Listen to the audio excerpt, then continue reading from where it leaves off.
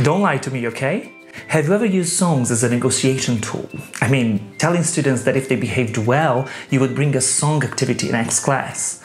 Or have you ever used songs just to fill in the time at the end of the lesson? Well, I certainly have done both, but are these the best uses for songs in an English classroom? I'm Rubens Heredia, one of your Pavilion ELT vloggers, and in our 2023 video series, we are investigating different resources we can use to make our lessons more effective, engaging, and fun. And in this video, I'll talk to you about five ways in which you can use songs in your lessons, but with a purpose. Do you want to know how? So come with me.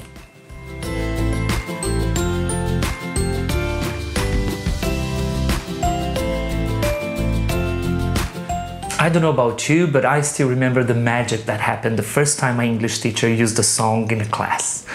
It was a very popular song at the time, but I had no idea what it talked about really. And after the lesson, I was able to sing it confidently and really impress my friends. I'm not telling you what the song is because that would give away my age, so let's just say that back then it wasn't as easy to have access to lyrics of the songs we heard on the radio. Nowadays, however, students can easily just Google the lyrics. But does that mean that the magic is gone? Of course not. There are many other ways the songs can enhance the learning process. So let's cut to the chase. Tip number one, go beyond the gap fill. When we talk about songs in classrooms, the first thing that springs to mind is a straightforward gap fill activity. Students are given a handout with gap lyrics and listen to the songs to identify the missing words or expressions. Nothing wrong with the activity itself, but it's kind of predictable and overused, isn't it?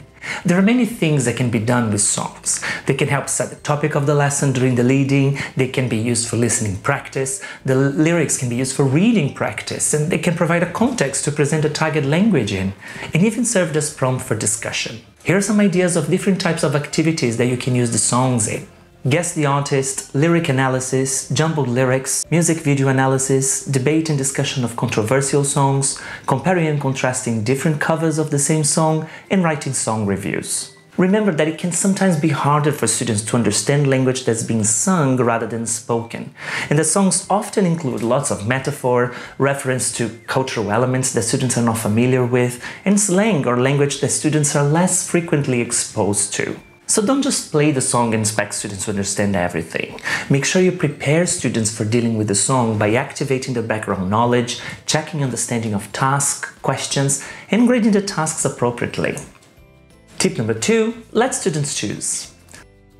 Cool as we may be, chances are we're always a few steps behind our teenage students in terms of the latest trends in music.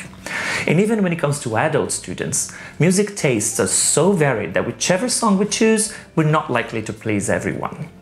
Some groups might want to explore new genres. Some may want to focus on the lyrics of songs they are familiar with.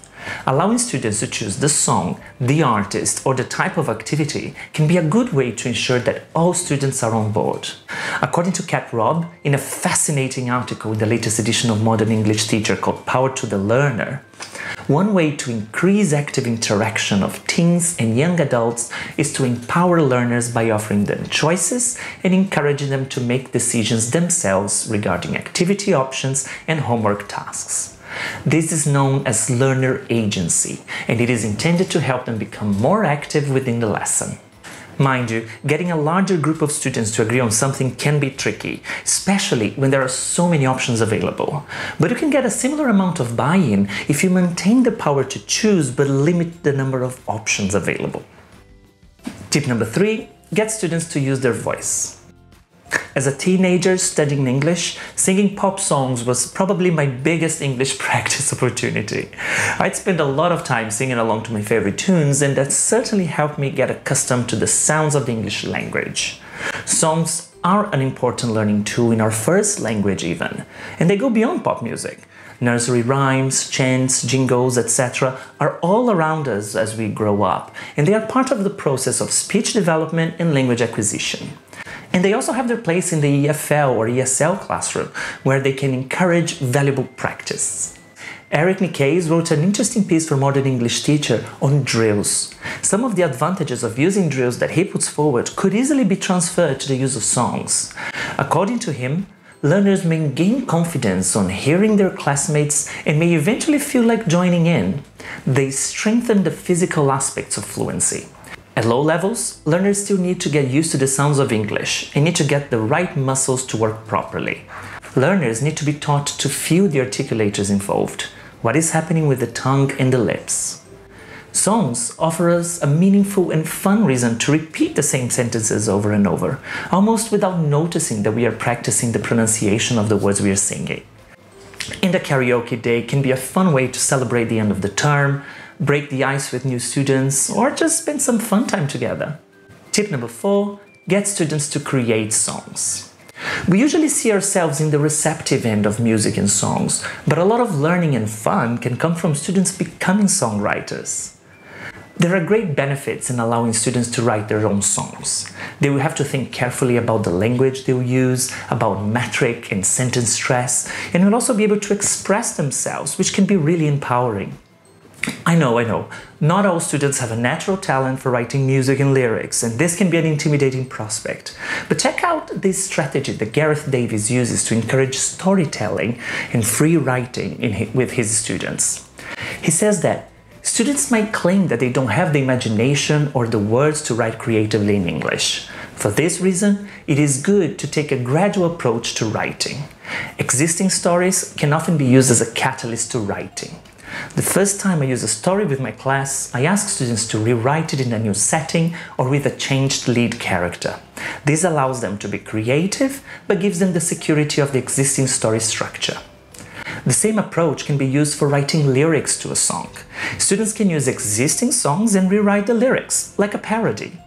If you feel this is still a step too far for your students, you can get them to ask AI tools like ChatGPT to create songs in the style of their favorite artists.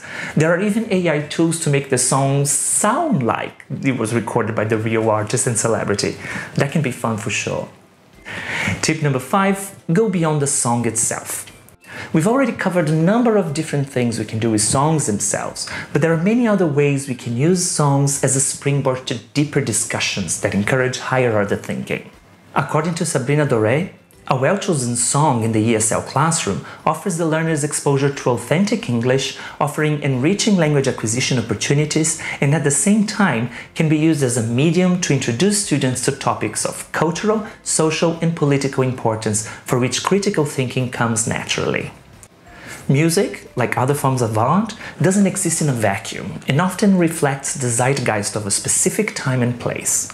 Encouraging students to reflect upon the cultural impact of songs that they like, the artist's background and public persona, and even what is or was going on in the world when the song was written can lead to engaging discussion. This can lead to research into the artist's lives, the history of the music genre, and the culture of the social group that created it. This can be particularly helpful if you teach in a context that adopts project-based learning or CLIL.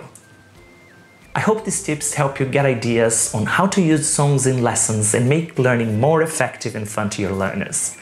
I'm pretty sure you have already used songs in lessons, so share your ideas with us in the comment section.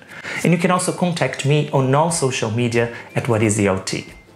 Keep learning and keep teaching.